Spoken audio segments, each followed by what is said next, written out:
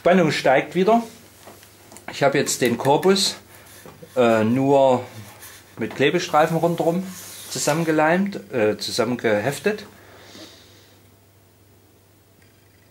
Und den Deckel bündig eingepasst und mit einer Schraubzwinge an der Hobelbank jetzt das gemeinsam fixiert. Ich habe jetzt also durch die Bohrung im Deckel jeweils in jedem zweiten hier in den dreien habe ich eine Führung. Jetzt muss ich also nur darauf achten, dass ich durch die drei auch wieder gerade durchkomme und dann können wir es gleich mal ausprobieren. Ähm, ich habe das ja nicht, mache das ja nicht das erste Mal. Wenn ich jetzt, sonst hätte ich schon mal Fünfer Buchen Rundstab genommen und einen Fünfer Bohrer. Da war das Holzscharnier aber auch nicht so lang, hat ein normaler Holzbohrer gereicht von der Länge her. Ähm, da musste ich den Buchenstab immer mit Schleifpapier noch gängig machen, also dass er reinpasst, weil das saugend war, äh, saugend gepasst hat. Hier habe ich ja ähm, für einen Viererstab 4,8 mm. Das dürfte also dann genug Spiel sein, dass nichts klemmt.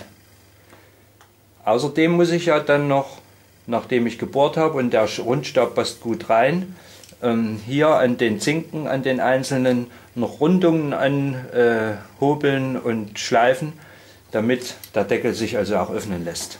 Aber heute soll es nur noch darum gehen, das rein zu bohren und das Rundarbeiten, das mache ich ohne Kamera und dann zeige ich euch das fertige Ergebnis. Also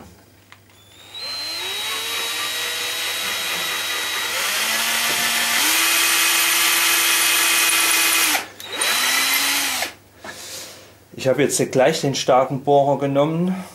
Weiß nicht, ob ich einen schwächeren. Ich mache das gleich damit.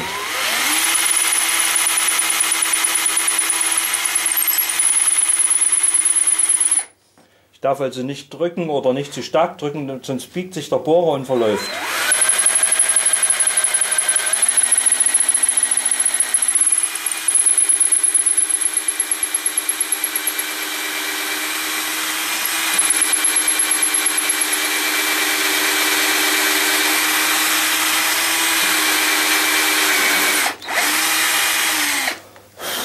Also was ich jetzt durch den Schlitz hier, durch den Spalt sehen kann, passt's.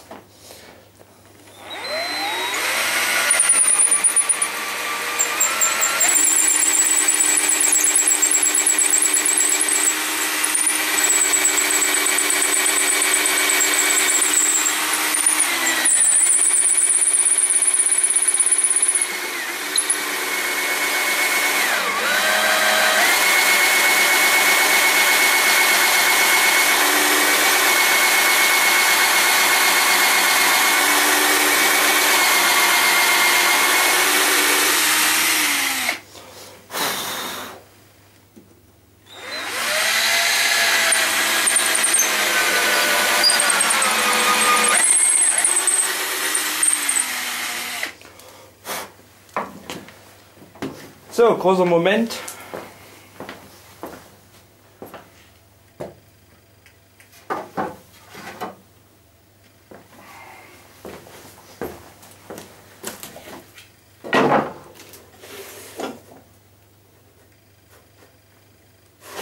Hier ist er doch.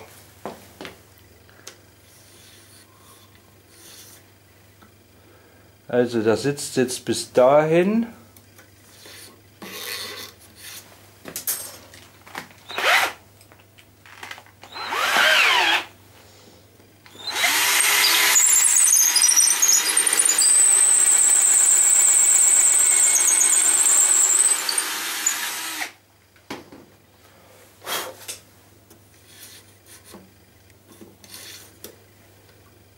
Jetzt sitzt er bis hier hinten drin, so 3 mm. Und das, das finde ich, ist, das ist für mich okay. So, das heißt spannender Moment, dass das jetzt passt, äh, dürfte klar gewesen sein. Der spannende Moment kommt dann, wenn die Rundungen dran gearbeitet sind und ob sich der Deckel ohne zu klappern und äh, ohne zu klemmen gut öffnen und schließen lässt. Wenn hier noch irgendwas sein sollte, dass das irgendwie doch nicht hundertprozentig gerade ist, kann ich immer noch mal auf eine Nummer größer, nämlich auf 5 mm ausweichen. Indem ich das auffeile mit einer langen Rundpfeile, mit einer Schlüsselpfeile oder wie auch immer. Gut, also Spannung ist noch nicht vorbei. Rundung wird jetzt angearbeitet und dann zeige ich euch, wie sich der Deckel öffnen und schließen lässt. Ja, das soweit bis hierher. So, wie versprochen, die Zusammenfügung jetzt des fertigen Holzscharniers. Ich zeige es nochmal. Also Bohrungen sind angebracht und nun habe ich hier die Unterkante Radius angehobelt und noch ein bisschen verschliffen, damit die Unterkante ja abrollen kann. Und am Korpusteil habe ich die Gegenkante auch etwas abgerundet, auch mit dem Hobel und verschliffen. Wenn ihr jetzt den Unterboden hier noch mit rohem Holz seht, der Korpus wird nochmal auseinandergenommen und das wird erst noch gefüttert und gepolstert. Hat Stoff ausgelegt. Ja, ich füge das jetzt mal zusammen. So. Dann die, den Rundstab rein. So. Das ist jetzt erst einmal nur grob zugearbeitet. Wird später noch genau bündig dann abgeschnitten. So, so sieht das jetzt fertig aus.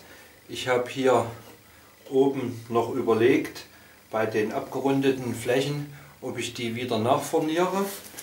Hinten sieht man es nochmal, aber das bildet einen schönen hellen Kontrast in einem gleichmäßigen Muster und ich lasse das so.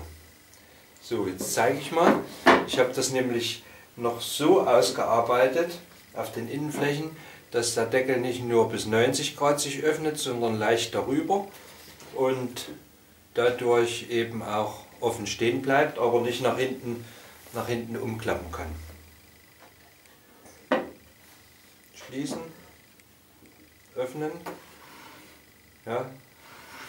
So, und hier habe ich auch wieder ein gleichmäßiges Muster von hellen Stellen. Passt ganz gut dazu. Ich lasse das so, ich forniere das nicht nach. Das soweit zum Holzscharnier. Weiter geht es dann mit dem Polieren der einzelnen Bauteile, bevor es dann endgültig zusammengefügt wird. Also mit Shellack. Schön auf Hochglanz bringen. Gut.